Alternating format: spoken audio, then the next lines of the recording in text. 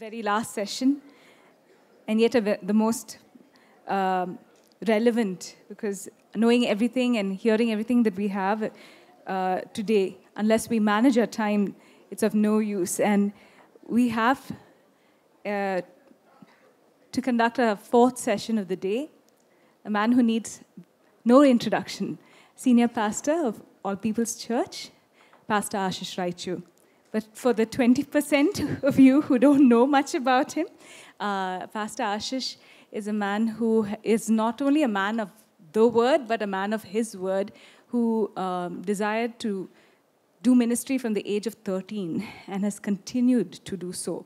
So, for all of us who watch him, he is a true inspiration. And uh, I can think of Paul who said, Imitate me as I imitate Christ. I'm so glad that we have a living example before us. Um, Pastor has a Master of Science degree in biomedical engineering.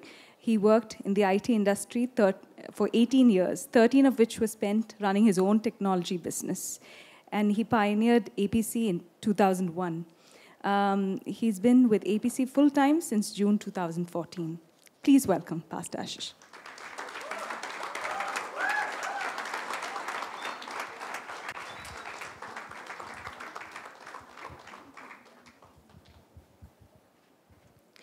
Okay, good afternoon, everyone. Uh, thank you so much for being here at the 2023 Christian Professionals Conference.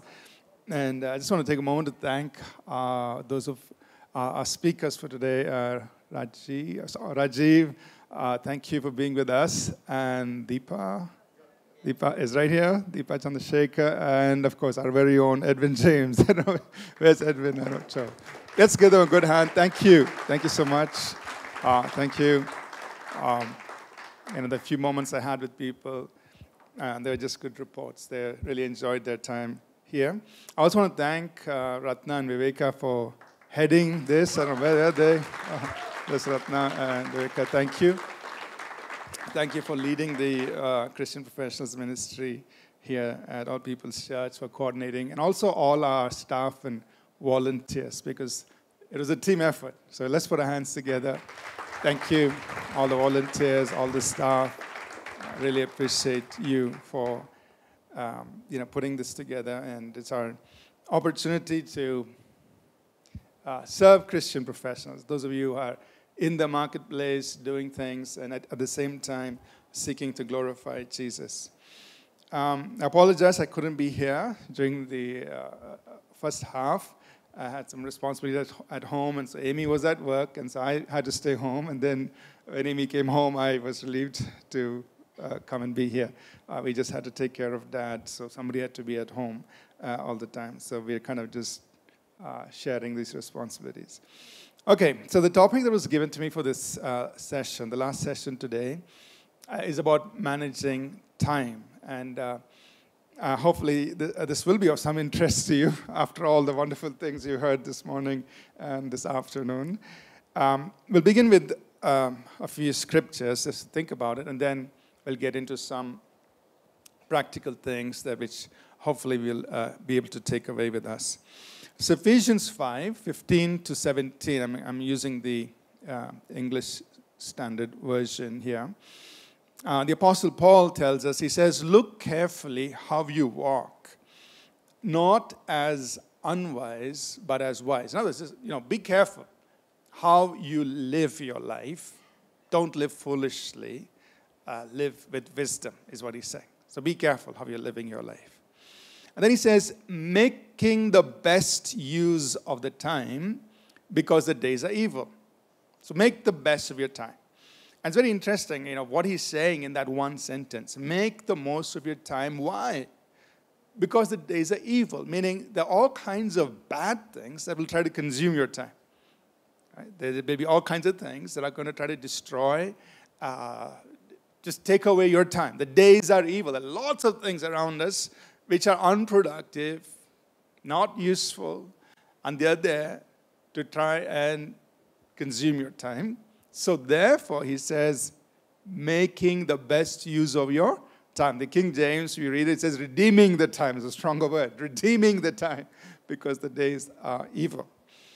And in that context, being careful how you live your life and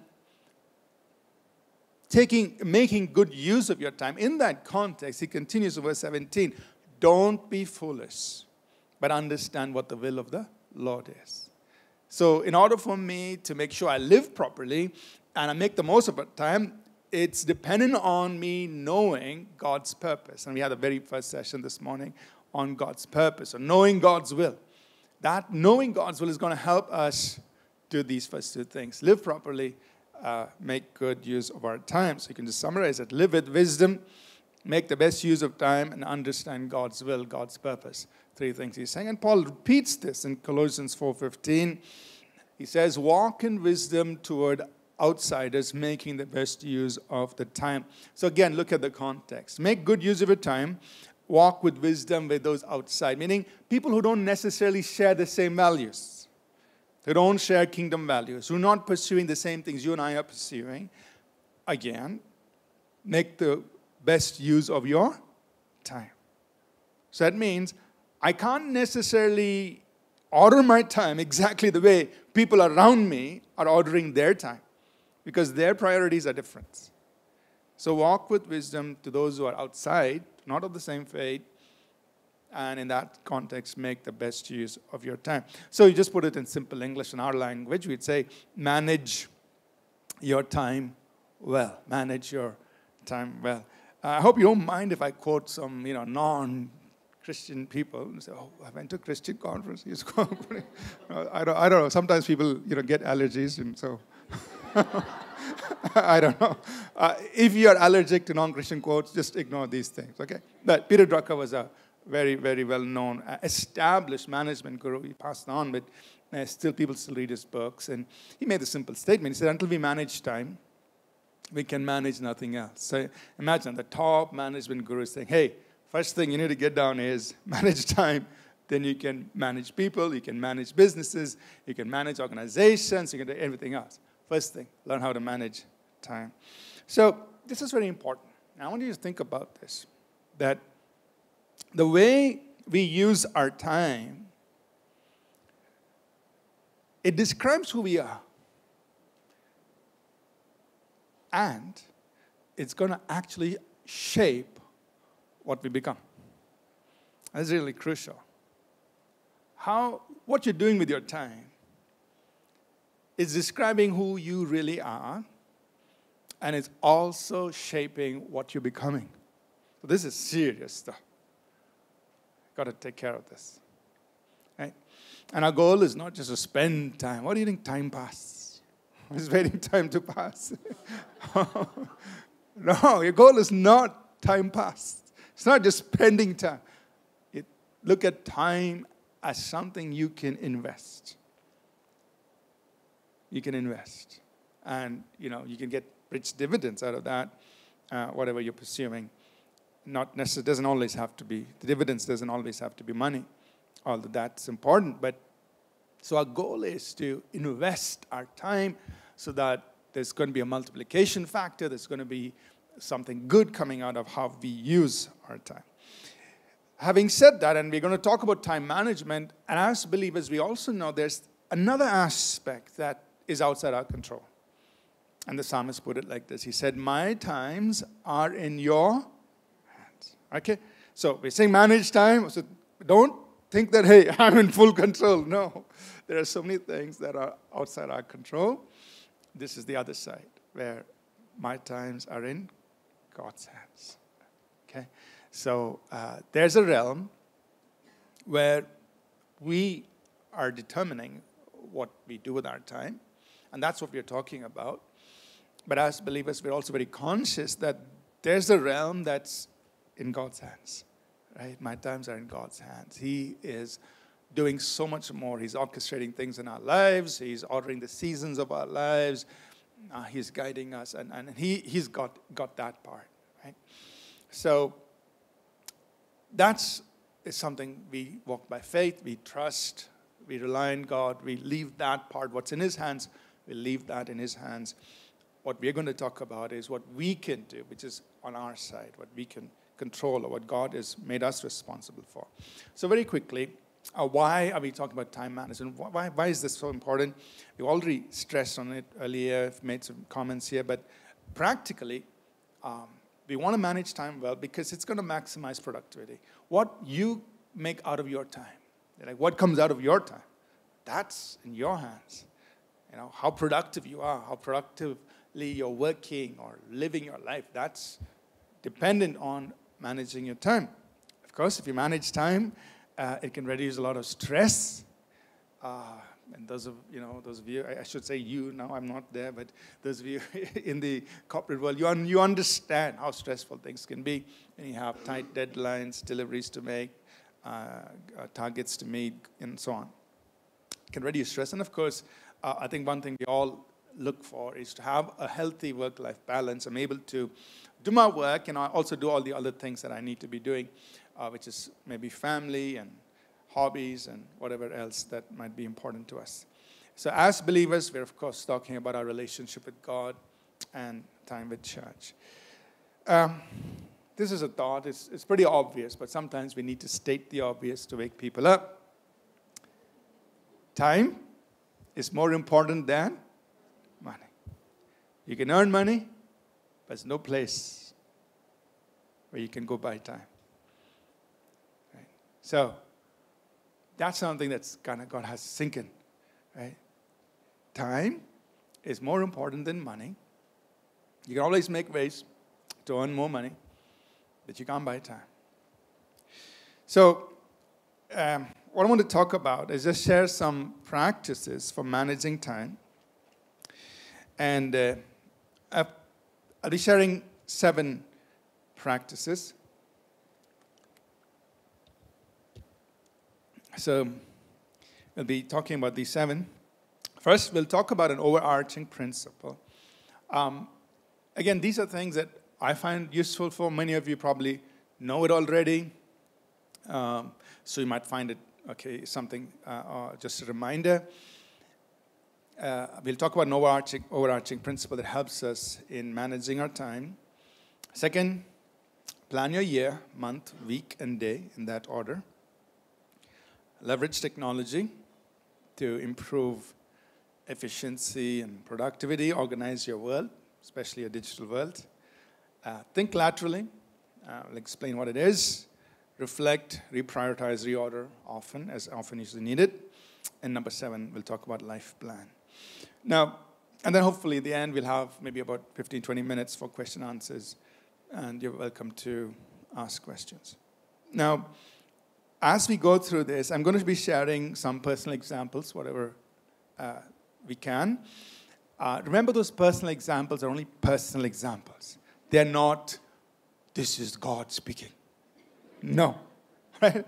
It's just, okay, this is how I've applied it in my life. Okay? And I'm not presenting it as, okay, all of you have to do this when you come from tomorrow onwards. That's not how I'm presenting it. I'm just, when I uh, talk about personal examples, I'm just saying, this is how it's worked in my life. How it works in your life may be very different. And it's okay, right? Because God works in a variety of ways. It's not like He's got the only one way to work these things. He's a, he's, he's a very creative God. So when I share personal stories or personal examples, just you know, see if it, it's, you can connect with it, see if you can take some ideas from it. But I'm not saying you have to do it exactly the way I've done it or I practice it.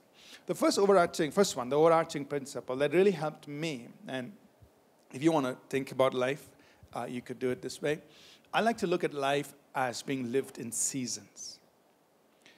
And every season has a purpose or a set of purposes. It could have more than one purpose, and most often there is more than one purpose in a season. So every season has a set of purposes. And in order to manage time well, I have to do two things. I need to maintain my priorities and my practices and keep them aligned to the purpose or the set of purposes for that season. Very simple. We can go home now. You've got, you've got what you need. Right? Make sure you keep your priorities and practices aligned to that purpose during that season. So, if I look at my own journey, uh, early school days, well, purpose, you know, of course, do your studies, grow with your faith. So I had at walk, walk with God studies, and I also started ministering at you know at early age. So there was ministry running in parallel. So from the age of 13, I was busy in Bangalore City, running around and preaching in different schools and conducting Bible studies and all of those things. So I had managed my time between my personal walk with God, you know what you do, what, what you do as a student, and as well as ministry. And as a student, I was you know studies and sports. These were like two big things. Then went to college Again, the same thing. Maintain my walk with God, do what you would do in college life. And those days, uh, I would do my studies and I kind of focused on athletics. I kind of gave up on soccer. That was taking too much time. So athletics was something I could control my time. So I focused on that during college days. And then I was doing ministry. Started a fellowship there on campus, and that grew. Went for graduate studies. Again, what were my priorities? Walk with God, uh, my studies. Now I had to do work as well. I had to do research in the lab. So, and I was also, you know, at, there were times when I was working for some companies, and so I had to do research and also ministry. So I started ministry to international students. Um, later on, got involved in some local churches doing ministry. So I had to manage my time. And those were priorities. I had to do that. Then, early career, started working, quickly got married in a hurry. And uh, so now life changed, a different season. Um, I had to manage my walk with God, marriage uh, with Amy, work, working there in IT, and ministry. Uh, we were ministering in a church at that time. We actually started pioneering a bilingual English Spanish church uh, in the US. So that was the early stage of career. That's what was going on. Later on, Josh and Ruth came. And so now season changed. Now it's family. And it is also the time we moved to India. So again, things changed. In this season, I had to focus on walk with God, family now. It was wife and children. And then we were pioneering a church. This was 2001. Church started. And at the same time, business started. So I was not employed, but I was, uh, I was, I was not working for somebody else. I was self-employed, now employing others. And so there was business to take care of. Uh, so that was a totally different season. Um, and that went on for about 14 years, 14 some years. And then children grew up, went to college, and also things changed. Um, uh, I came out of business and started focusing on the church. Church began to grow, and so many things, um, you know, college, Bible college, and other things were happening in church, taking all the time. So that's kind of the season in which I'm in. And when I look ahead, so what, what, how will this season change? you know, maybe I would transition out of church, hand it off to some of the younger people, and then be more kind of in the background. Uh, continue to serve the Lord. Not uh, you don't retire from ministry, but you know the church will be run by the younger generation, and I would probably be in the background and you know just mentoring and nurturing these young leaders. So that's probably the season up ahead. So why did I kind of go through that in detail? It's because this is how I'm thinking, how I'm looking at life. And maybe it might help you to look at life like this. And every time I recognize the season, then I know what my priorities are and I know what practices I need to maintain. And then I begin to order time around it. So, Stephen Covey. Um, so, so, so that brings us to the next point. You with me so far? Okay. Feels like Sunday morning service. You're with me? I have to remind myself this is a professionals conference. Behave like a professional, not a pastor. All right. I'll try to be professional. Okay. Two. So once you do that, now you can plan your year, your month, your week, your day. I like this quote from Stephen Covey. He said, The key is not to prioritize what's on your schedule, but you schedule, build your schedule around your. So, how will you know what your priorities are? Well, you've done the exercise step one. So now we know in this particular season which you are, there are different people in different seasons. In the season which you are, what are your priorities? Now build your schedule around your priorities. So here's what we do. Uh, in the season that I'm in, which I shared earlier, this is how I do it. the first thing I do is we plan the church calendar. So, in the month of October, last month, our calendar for 2024, church calendar, was filled. We made it, we completed it. So, basically, as a church, we know what we have planned for 2024. It's done. So, we know when we're going to do all the conferences, weekend school, everything that we normally do as a church. 2024 calendar is planned. I've sent it out to our pastoral team. Pastors, everybody know. This is our 2020, our staff, they all know. 2024 calendar is planned. Then, around that calendar, we, I also plan the, the pulpit plan, which is see, as a pastor, you only get 52 times a year to preach. it's just not enough. It's like, God, I need 104 at least. You know? It's only 52 Sundays. Only God, I have only 52 chances to preach. You know? So it's very easy, right? So um, my next step is to plan the pulpit calendar. What are we going to minister for 52 Sundays? And of course, you're listening to God and saying that this is where the church is, this is what God wants us to impart to the church in 24. So, usually, the pulpit calendar is planned by the time we finish the previous year. So, uh, I'll be sitting down in December uh, in about three, four hours. 2024's pulpit calendar is done, shared with everyone. So, okay, these are the topics we're going to cover in 2024. So you've got the church calendar done, you've got the pul- pulpit calendar. That means the year is planned. The next step is to fit in my personal things into that calendar. So for many years, uh, there were two, pers- two things that were very important. That means two, two vacations every year. So as the kids were growing up, that would then go into the church calendar. Say, okay, now I'm going to block these two weeks which will be the family vacation time. Even if angel Gabriel came and said, "Say Gabriel, I'm going on vacation. I planned it in December. You're too late. No, no, just okay. The point is that I've got the church calendar, I've got the pulpit calendar, now I put in my personal things. That means I'm blocking out time in the whole year's calendar. These are family vacations, they're non negotiable. Uh, there's a time for family. So be, that is priority. Are you with me? Your family's priority, so you're putting it in. Then, so all of this is done in a simple Excel sheet, which all of us know how to use. Very simple. It's all done. Doesn't take much time. And then I take that and then I use Outlook where I plan my month and my week. So I go from the year to the month and the week. So now I can plan out what's going to happen every month because I know the church calendar, I know my personal calendar. It's now put in Outlook. I know what's going to happen every month.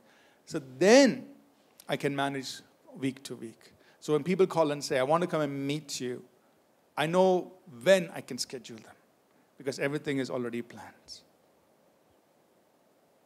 Are you with me? Yeah. So plan your year, month, week, and day. And for most of us, I think we can do this. It's not, uh, I understand that, you know, your employer could call up anytime and say, hey, I need, to go on an, I need you to go on an assignment here and do that. And that was not, you didn't foresee that coming. That's okay. You can adapt. You can adjust or rework your schedule.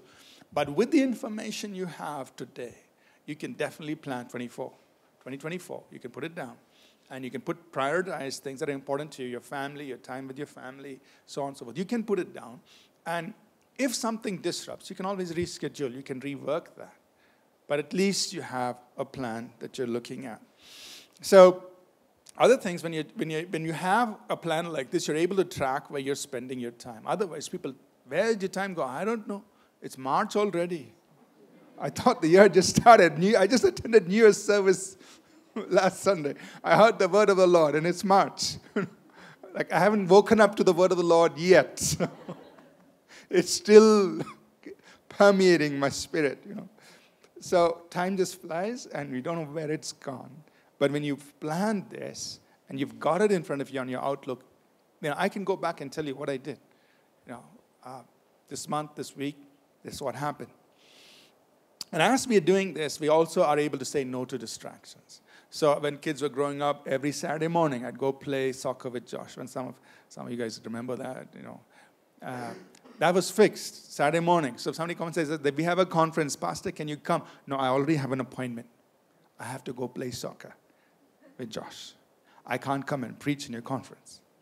That's out. Why? That's priority, right? I had to take my kids to music class. I take every Saturday. That was in my calendar. We'd go to Sanctuary, have uh, Sanctuary special, and Josh and Ruth go for music class. Come back. That was every Saturday. I would not accept anything else on that Saturday. So I know what to say no to because I have something more important already in my calendar. And I don't feel guilty about it because this is more higher priority than what I'm saying no to. So, doing that is important. Also, as part of your plan, allocate time for deep work. What is deep work? Deep work is something you're doing where you're fully focused on that one thing that you're doing with no distractions. Um, if you're designing a software system, uh, you're, I mean, designing a system, it's deep work. Usually, you know, I love just sit down, just work on it. I don't want anybody to disturb. Not checking my email, not answering the phone. Uh, designing a system, or you're writing a book, or you know whatever you're whatever you're doing, that requires deep work. That you need to focus. Uh, you need to be creative. Uh, you need it's using a lot of brain power. That's deep work, focused. So, in order to do deep work, you need to understand. You need to practice time blocking. That means I'm blocking out between 9 a.m. to 12 noon today for doing this one thing. That's deep work. Nobody's going to, you know, whatever comes, I'm not doing anything else. But that's where you're going to be most efficient. So when I sit down to work on a book, I'm doing deep work. I'm not going to do anything else. Sometimes, you know, for example, this timeless principles workplace, it, that deep work extended for many weeks. I just sat and wrote. That's it. Not doing anything else. It was almost like he's gone, he's raptured for a few days. but I'm doing time blocking because I need to focus. It requires that kind of effort to do that. And don't multitask. You know, sometimes we think, oh, I can multitask. Actually, you cannot. Your brain cannot multitask. You think you're multitasking. It's not. Um, we can go and research on that. But, you know, uh, limit your multitasking some things, yeah, we can, but actually your brain is not multitasking. It's processing them still in sequence, but it's happening so fast. You think it's multitasking. You're talking on the phone, you're driving the car, and you're eating. and I don't know what else you're trying to do. So four different things happening. You think, wow, I'm multitasking. But your brain is actually processing them in sequence. Uh, you know, there are some things you get away with multitasking, but if you want to do serious work, uh, you know, you really can't multitask. Um, you need to minimize context switching. That means you focus on a particular context, and if you switch context, your brain, there's actually a lag in your brain. And how quickly you can think about this new subject is not as quick as we think. And I, I know in, in, in normal work, we have to do context switching. Uh, so when I'm sitting in the office and keep the door open, so that means anybody can come and talk to me. So I may be on the phone, I've been listening to somebody having, you know, marriage problems, I'll finish it, close the phone. Then, you know, Hannah might come in, Pastor, she's talking about publications. So I've just been thinking about somebody's marriage problems. I need to switch context. I have to answer her question about what to do with APC books. And as soon as she's done, somebody else might come. Maybe a financial question, accounting person will come. I have to answer, switch context think about accounting. And as soon as that's done, you know, maybe a media team comes, switch context. So you can do it, but it's not the most efficient way to be working. Right? Now, sometimes you have to do it because of the kind of position you're in. So there'll be those days when I sit in the office, I have my door open, anyone can come, but I'm actually switching context from all kinds of things. And it's, you know, I, I sometimes I, it takes a little while to switch context. Okay, just tell me you know, once that this really happened, Hannah came and sat in front of me, and I couldn't get her name. I was staring at her, and her name was not coming. And I literally asked her, What's your name? she must have thought the pastor's gone. No, it was just that I had to switch context. I was doing something else. She walks in and sits in front of me, and I just couldn't get her name. You know, so sometimes there's that latency, there's that lag when you're switching contexts. And we think we are good at it, but actually, it's not a very efficient way. So minimize how much you have to do it. But we can practice batch processing. What's batch processing? And those of you IT, you know, you know what I'm talking about. But generally, similar tasks, you can do it in, if you do it in that same block of time, similar tasks, then you will be much more efficient. So example, if you're working on scheduling tasks, like I'm I mentioned about planning calendars. If I'm planning my the church calendar, the pulpit calendar, and my personal calendar, these are all scheduling tasks. So my whole mind is geared towards it. So if I do three or four similar tasks in that block of time, I am doing batch processing. You understood? Okay, maybe. but that's batch processing. And that is good for your brain, right? You can, you can work very efficiently. So try to do that. That means you club similar tasks together, and uh, you will be very good at that. And uh, another thing about planning is um, to work ahead of time. All right, now I need to plan my time. It's four, what's the time now? It's 4.18. All right, so we have time. Okay. So work ahead of schedule to avoid stress, right? So one good thing about, you know, we work the calendar. I send it out in October. Now Stephen can plan all, he can book the venues for next year. Aram say. Eh? There's no rush like, hey, I need the hall, I need it tomorrow. No, he got the schedule in October. He can book all the venues for 2024 now itself, and that's what you know we're working on. So we do everything. There's no stress now because we've planned ahead of time. Our media team can start thinking about the graphics, and we you know we give out the sermons, um, the the uh, conference titles, and all of that ahead of time. Our different ministries they can start looking for people. All of these things people can work without stress when you plan ahead of time, and you yourself can work out. But you got to be careful of Parkinson's law. What is Parkinson's law? It's simply this that work expands to fill the time available for its completion. And he actually came up with this law by observing people working in the government office. He's observing them. And then he came up with this law. He said, You know, I'm noticing if they say one month to do something, they will take one month to do it, even though that could have been done in one hour. So that's Parkinson's law. That means if you say, I'm going to do this in one hour, I mean, in one month, even if that task can actually be done in one hour, you'll take one month. You'll go all over the world and then finish it. So the key is to be realistic in your scheduling. And this is where, if you're a creative person, don't get angry with me. Because I'm going to tell you, sometimes these creative people, they say, oh, I need so much time to be creative. I say, no, the work has to be done in 30 minutes. oh, I need time to be creative. No, you don't need.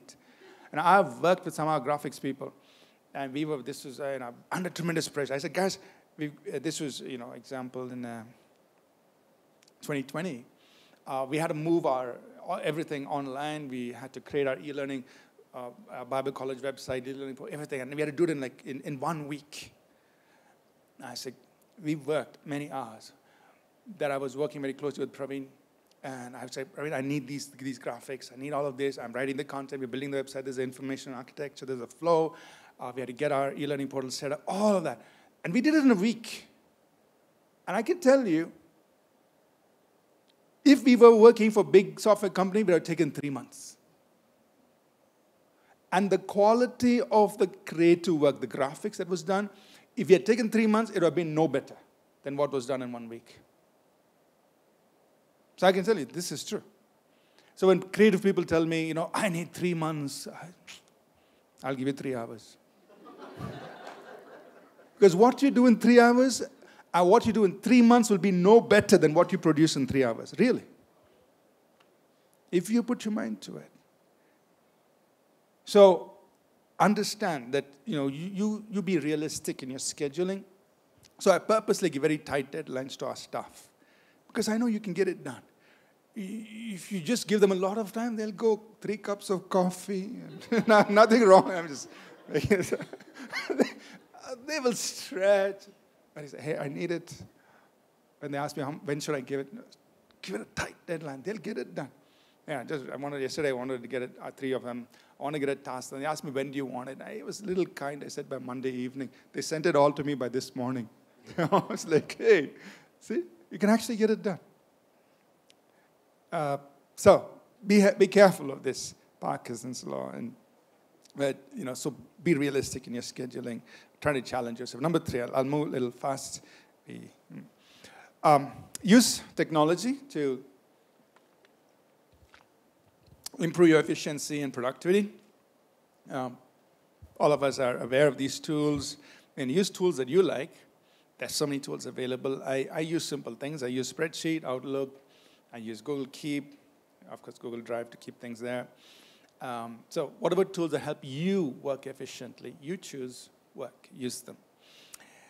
Um, if there are repetitive tasks, um, try to automate them rather than trying to just um, doing them over and over again. Try to automate your tasks. Simple example if you have to pay your bills every month, most of us, I think, already do this. You can set it on auto pay, right? So you don't even have to think about it. Your bill is automatically paid.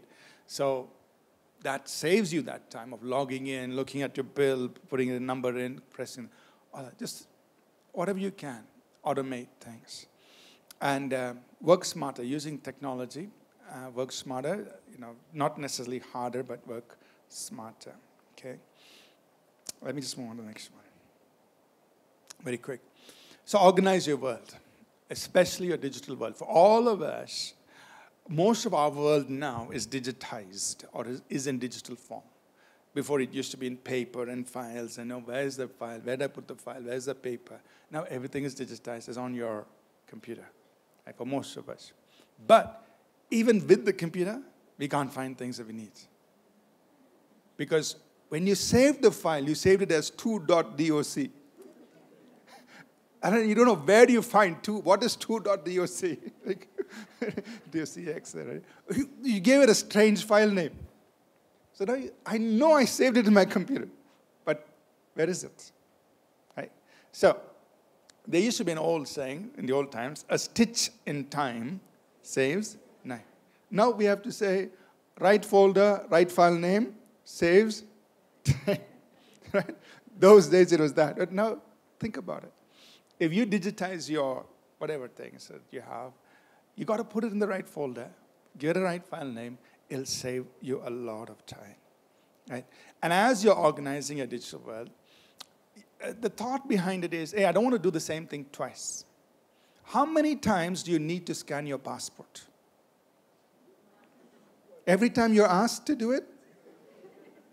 Oh, I have to go scan my passport. Only once in 10 years. I think your passport is valid for 10 years. You need to scan it only once. How many times do you need to scan your Aadhaar card? Hopefully, you, you, know, you don't go around getting new Aadhaar cards, but if you have one Aadhaar card, you need to scan it once your entire life. But how many times have you been scanning your Aadhaar card? That's a different story, right? Every time somebody Aadhaar card, oh, scans it. Why? Why are you doing it so many times? You just need to scan it once. Keep it in a safe place. Anytime anybody asks, here it is. So, the important thing is, you know, there are tasks you don't need to repeat. Your PAN card, your Aadhaar card, your passport, a lot of things. Scan it once, put it in a place where you can retrieve it easily, and life is simpler. Your time, so much time, is saved. Okay? So the key there is, you know, um, I don't know if you can see this, but is how you file, how you, you know, the file names you give have to be meaningful, intelligent. Now, here's something I've been practicing for naming all our sermons, and it's so useful. Now, it came from, you know, all the the, the, years of work in tech because there we had to, there's a, there's, you know, when you're, when you're programming, you follow certain naming conventions and all that. But I picked that idea up and I used it in, in the way I label our sermons. So every sermon document is prefixed with the month, the year, the month, the day, and then the title. So it's automatically sorted. So if you ask me, what did you preach on the 8th of January this year? I can tell you in 30 seconds. I preached on daily habits, daily routines. So it's all there. And it goes back till 2004. So if you'd ask me, what did you preach on the 8th of August 2004? Within two, three clicks, I will tell you what I preached. So from 2004, every sermon I've preached, it's all there. So you ask me, I'll tell you. And this is how it's all published on our church website. All the sermons are there. So I don't need to struggle to find. And if I say, hey, I want to go back and I remember I did a series on this. Uh, I just have to recall which year I did it. I go there, the sermon notes are there. I can pick it up, I can reuse it, I can preach it again. It's fine. It's all there. And all it has is just how you name the file, which folder you put it to, saves you so much time. Okay, just, this is just one example. And like this, you can file and order your digital world in so many areas. I've got uh, the way things are filed in our personal documents for my wife and children, uh, uh, different, different things, all organized. So you ask me, I can bring it out for you in a few seconds. I can get it out for you. You understanding? So how you um, organize your digital world is very important. It's going to help you save a lot of time. I just give you some examples. Number five, a few more points, and then we'll go for questions. Um, think laterally. So every time you do a task, don't just focus on, okay, I've got to do this task, I've got to finish. But you also think laterally. And some of the things that you think laterally are like this. One, do I need to reuse this or will can I reuse what I'm doing right now anywhere else? So I'm, I'm thinking laterally. I'm not just thinking, oh, I'm going to do this task and do it. Example. Yesterday I sent an email to our IT staff. Uh, we're doing some new work, so I was telling them, hey, we're going to follow this file naming conventions. This is how we're going to keep your file structure and so on. And I was sending, them it, sending it to them in an email. And that same moment, I said, okay, hey, I'm going to take this and I'm going to document it in our systems design document. So I'm going to put it there. Because as we keep building systems, we're going to follow the same thing.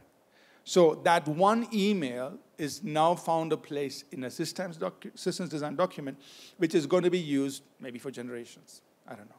Whoever's going to come and join our team and whatever systems we're going to build, we're going to follow that. So I'm reusing. I'm, I'm writing this only once, but I'm reusing it in many places. So you're thinking laterally. Are you understanding? Yeah. So just, just giving a simple example.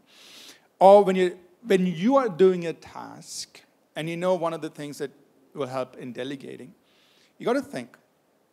I know how to do this, but can I do it in such a way, and can I document this in such a way so that I can somebody else can replicate the work? Because if somebody else can replicate the work, then I can delegate it.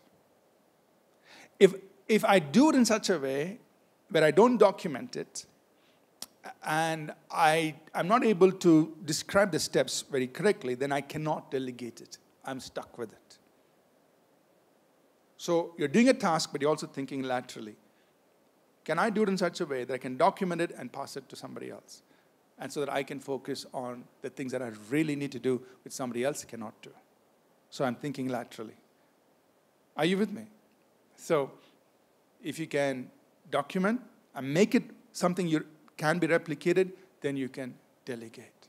And if you delegate, you're freeing up your time to do the things that are important for you. Same thing when you're networking, and we've heard about networking. But you think like this this task that I'm doing, uh, and this again, thinking laterally, are there people that I, that I can work with okay, whom I can partner with, that they will be empowered by doing this instead of me doing it. I can do it, sure. But can I empower somebody else who in, in, in, by just letting them do this? So they will be lifted up by me just giving them this work to do. So I'm networking, I'm building people up in the process, I'm not just thinking about myself. And so I can call someone, hey, would you like to do this? They'll be more than happy to do it. Please take it, do it. Or thinking laterally, is there somebody else who can help me do this better? Maybe they've got information that I need to do this better. So I can talk to them, help me do better. So think laterally when you're working on things. It's going to help us save time. Number six. So it's very important to reflect, reprioritize, and reorder things. So keep short accounts. And for us as believers, the good thing is, you know, almost every day you have time for reflection. When you sit down to pray or read your Bible, it's also a time of reflection. How am I doing? And a simple question to ask is, you know, how are things in terms of purpose, priorities, and practices in, in this season? In this season. Think about it. Because, you know, we tend to drift. And sometimes we drift so far, it's December 31st. It's like, did I, what did I think of doing in the Jan 1st? It's a little too late. He has gone. So you need to reflect, if on a daily basis, if not at least on a weekly basis. Keep short accounts, reflect. How am I doing? Am I staying aligned to the purpose? Are my priorities intact, or now has something else taken higher priority? Uh, am I practicing, you know, spiritual life, healthy eating habits, exercise, whatever these, these things that are, whatever is important to you. Are you practicing it? If not, okay, bring it back. Bring it back. But you need to keep short accounts. Otherwise, too much time slips by and, you know, you wasted a lot of time. And as part of your uh, reflecting, reprioritizing, reordering, you know, take care of yourself. Uh, there's nothing wrong because if you take care of yourself, you can do better you can be a better service to other people. It's not being selfish. I, I, I used to tell myself, when I take care of myself, I'm actually doing good to the people I'm serving because I can serve them better and hopefully serve them a little longer. so, taking care of yourself is a good thing. It's not a bad thing. You're doing good for others when you take care of yourself and I'm talking about in a, in a proper way, right? Not, not, not, talking, not, not, talking about, not talking about an indulgent way. And engage in continuous learning. You know, uh, this is so important because everything around us is changing. Uh, there's uh, so many things are happening, and unless you, uh, it, it, it's changing many times in for good. For good. So if you can leverage and take advantage of all the new things that are happening, you can work better, work smarter, save save your time, and so on. So engage in continuous learning. Learn the things that you are interested in and, uh, and keep growing in those areas. The last point, I'll tell, speak on this and then we'll take questions. The life plan. Now, I've shared this with, you know, over the years, uh, I've shared this with different groups of people. Uh, some of you may have seen some of these things before, and if you're seeing it again, it's okay. Just pretend you've not seen it before.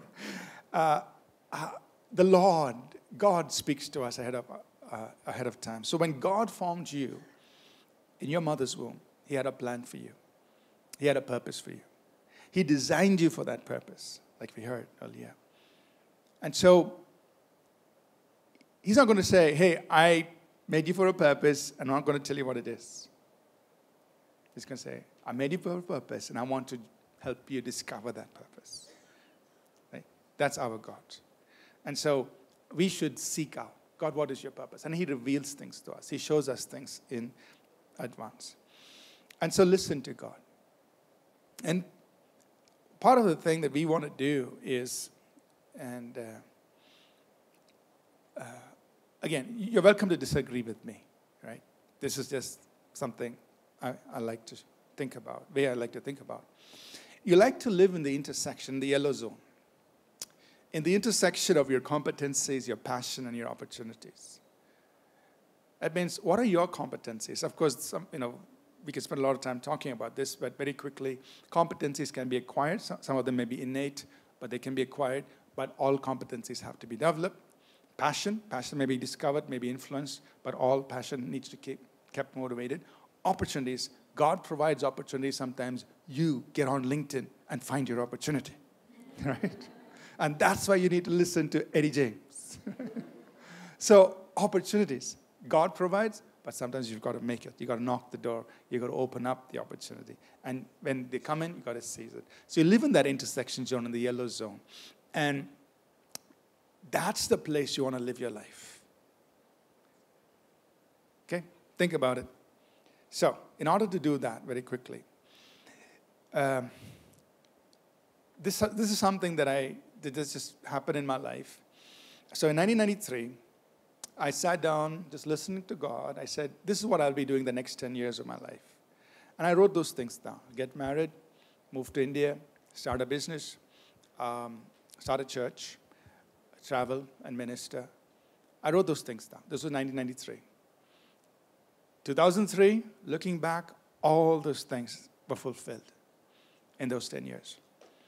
And so that encouraged me and I said, hey, if God could reveal to me what I was going to do in the, in the 10 years up ahead, then maybe I can just sit down and listen for the next decades of my life and write it down and see how all of that unfolds. So I did that. And, uh, and, and then I came up with what, you know, I just referring to it as a life plan. So I, I divided my life in decades. I'm not saying you should do this, I'm just saying what I did. Okay? If you think I'm crazy, say, no, no, no, I do not even think about tomorrow. You're thinking about decades, forget it. It's okay, right? Live as you would, you're comfortable. But this is what I did. I, I, I divided life into decades, listening to God. I said, in this period, what should I be doing? What would that, the, the focus of that decade be? Can I describe it in one sentence? So that I wrote it down, that decade, one sentence. In order to fulfill that one sentence, what should my objectives be? And in order to fulfill those objectives, what should my plans be? Got it? So I did that all the way.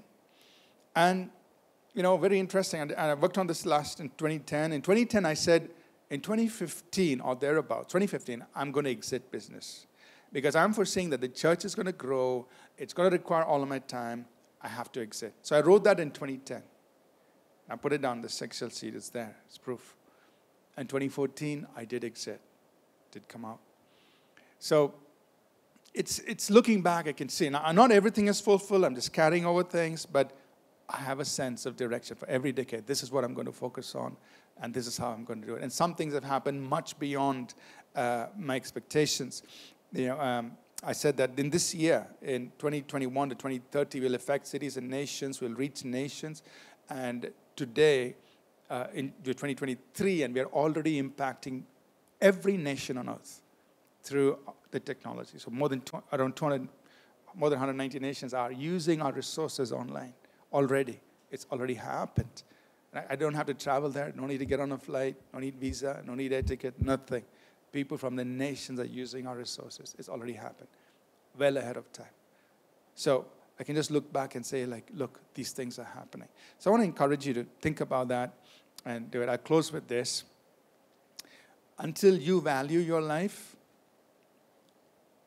you will not value your time.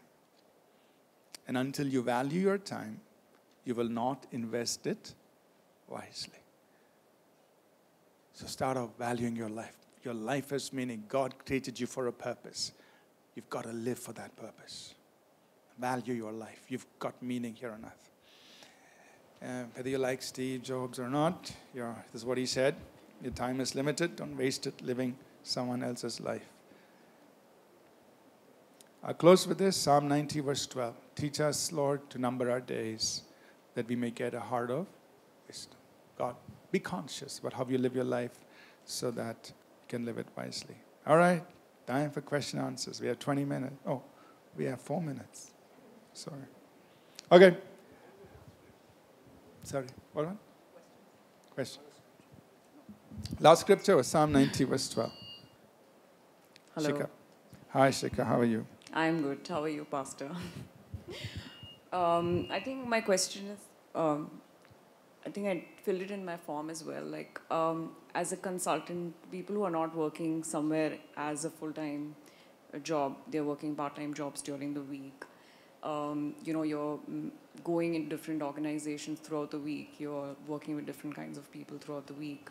Um, I know, like you said, we are not built for multitasking, and you did speak about context switching, which I think would help me. But um, if you could provide some practical tips for people who just consult at different places, how can you manage your time better? And because you're doing different tasks throughout the week, so you know, switching from uh, one job to the other, and how can you do that in a more effective and a more smooth way, if that's clear?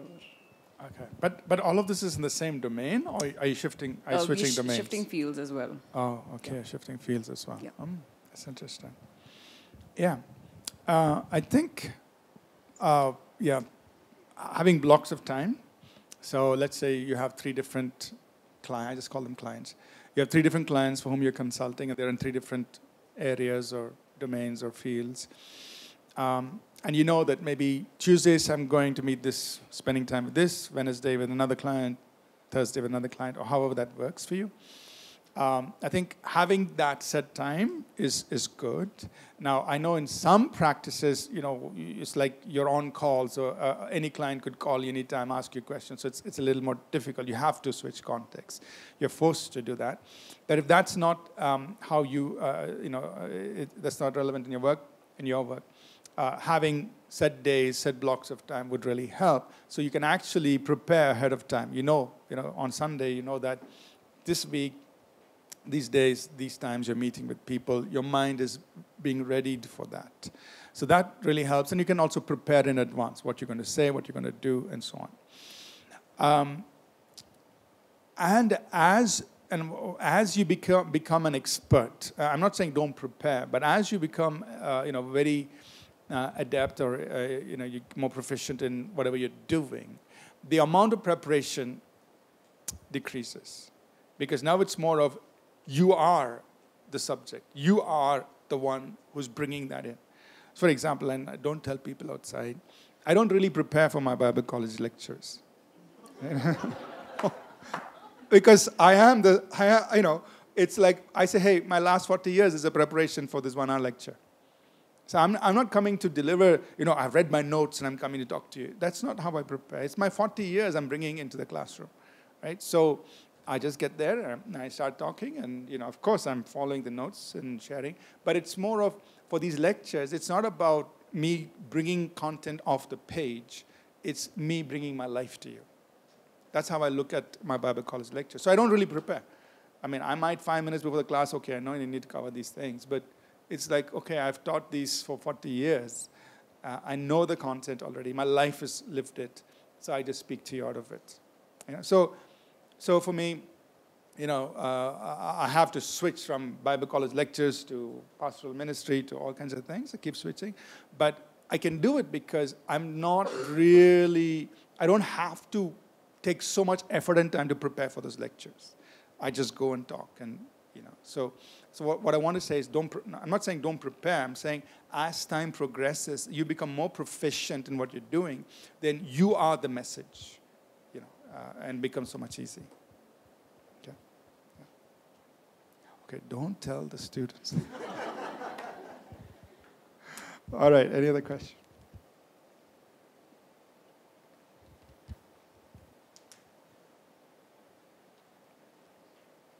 Okay, no questions?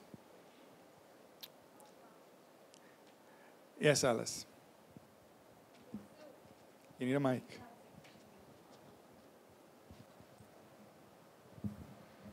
So we plan for the season. Um, uh, the monthly, daily, weekly, everything has been planned, and suddenly some uh, unplanned ad hoc or situation jumps in front of you, and you have to prioritize that as well. Include that in your schedule, and that time, how do we like really balance or focus on the purpose for that season? Yeah. So if it is a a, a solitary event, you're rescheduling things for that day. and it might overflow impact the subsequent days. But you're getting things back on track if it's just something that happened for that day. But if it is a shift where, you know, several weeks are affected, it's okay. So while you're planning, you're also staying flexible. You're also, you know, keeping things fluid. So you're accommodating changes. I'm not saying we're rigid, but you're accommodating changes. Uh, and then you get things back after that, you know, three, four weeks or whatever you need to do to accommodate. You get things back and then you move. But those things do happen in life, right? That's the part where my times are in His hands, right? Where I've done my part, but then something happens where things are disrupted. It's okay. God is with me. Journey through it, reschedule, reprioritize, reorder things, and then get back to what you are, what you need to be doing for that season. Thank you, Pastor. Uh, Pastor, I don't know if that's a continuum, but uh, were there times in your life where there were seasons where you absolutely don't know why what's happening, but you know deep in your heart that the Lord is in control? Um, you pretty much are not able to make head or tail of it. Um, would you mind throwing a little light on that? Uh, because because the only way um, I probably would understand in that perspective, in that space, I'd only look at it as just knowing that the Lord is in control is the purpose sometimes. But would you like to throw a little more light into it? Sure, sure. I'll just share some couple of things. One was um, like when I went to the US to do my graduate studies, my thought was I'll go there only for two years. I said, I'll go do my studies, come back. And then the goal was always I'll come back to Bangalore, start a church. And I had that desire to kind of start a company. I just didn't know when, how, whatever. But my plan was to go there for two years, come back. But then it just, things just happened so differently. And, um, and I stayed 10 years. But I didn't lose sight, like you said, I didn't lose sight of the purpose, meaning I know I'm going to go back to Bangalore, start a church, and do the work. But I readjusted myself and I said, okay, whatever time I'm going to spend here, I'm looking at it as a preparation time. Right? So, in that sense, yeah, uh, did I fully figure this out? No, I didn't understand it. But I, I, in my thinking, I repositioned myself and said, I'm going to stay here. Uh, I'm going to prepare myself well, learn all that I can, so that when I when it's time to go back, and I'm ready anytime, Lord, whenever you say go back, I'll go back. But I want to make sure that when it's time for me to go back, I want to go back saying, I'm well prepared. So I, that helped me reposition myself. So that was one season. Now, 2010, 2011 was a very difficult season in our lives, in uh, Amy and me, our, our lives. So this was like after the church had come and we, you know, everything was going on, and we're now 10 years into this. It's a very difficult time, and and honestly, that 2011, yeah, was a year when it was it was like God, I don't know what's happening. I stepped down from preaching for four months. I got 12 pastors who were there. I said, first four months, 2011, I said, I'm not going to preach. I'll just come and sit in the service. Because emotionally, things were so bad. And I should come and sit in the service. And then it came to Easter, and they said, You have to preach on Easter Sunday because everybody's going to expect the pastor to preach. So that's the only reason I came and preached on Easter Sunday. But that four months, I just, I would come to church, I would just sit. And I said, Okay, I'm not going to preach. You know, uh, and uh, emotionally, it was very difficult. And uh, uh, we scheduled different people to preach. We had different pastors preaching. We invited people from outside to preach. But that was a very difficult season of life. But I didn't understand everything that was going on, but I said, God, I know you will take care of things. Right? And then, yeah, so it was that four month period. And then, you know, I was uh, able to come back and continue serving God. But I just stayed the course. I mean, but I used to spend a lot of time prayer. Like I just pray sometimes because I didn't understand what was happening. My only recourse was I'll just pray. So I'd go to my room. I say, God, I don't know what I'm praying. I'll just pray for eight hours, like I just pray in tongues. I'll just be praying for eight hours. I say, God, I don't know what's happening. I don't know what's, I, I, I can't make sense of what's going on in my world, but I know I can pray. I'll just pray. And you do the work, right? So that's kind of what I did during those, basically for most of those, you know, those, those, that very difficult time. Uh, uh, but I was there. I was, I, you know, I would just be behind the pastors. They were front ending everything. But my main thing was, oh God, I'm going to pray. I just, I just need you to work. And then God just worked things out. So I can look back at that season and, you know, and say that, yeah, uh, it was very difficult, but God worked and brought us out, and we're still alive. Yeah. All right. Any other questions? Yes, there's a question there. All right. Um, yeah, so it's time. Uh, hello, Pastor. Uh, this is uh, something which I frequently struggle with. So, uh, there are times when you schedule your uh, week, and you also schedule to the level of the day at that granularity. But you know uh, what happens sometimes that your your known people, friends, might come up to you and suddenly say, "Hey, can you help me with this?" You know that your day is jam-packed and you have taken care of everything that you need to do on that particular day, probably family, work, office, health, and you have no time for that. But uh, very frequently you get requests like that, can you help me with this? Uh, it's difficult to say no because you know that person and you're in a dilemma that, you know, saying no to him or her would, you know, uh, impact the relationship which you have. Uh, how to deal with that kind of situation. And also, there are, uh, there are situations where people come up to you and say, uh, hey, Leonard, uh, can you uh, build this, uh, build this, probably a poster for me? Or there's a website for me, can you set this up? I can do that, one can do this, but there's your effort required, your time required. Right. And if there's time required, which means you have to say no to many other things which you have already planned. And um, uh, the person may not have budget and may, uh, may is asking for help, how to handle or say no or you know yes, to, uh, I'm handling in a way that relationships are not impacted. Uh, there might be things which can be done over simple WhatsApp, but they would want to call you, and they say, "Let's meet, let me you know talk to you for two, two minutes." But that time, two minutes becomes 30 minutes, and so on and so forth. Uh, uh if you could uh, throw some light on how to you know politely mm. say no or you know handle the situation, uh, that would be uh, great. Mm.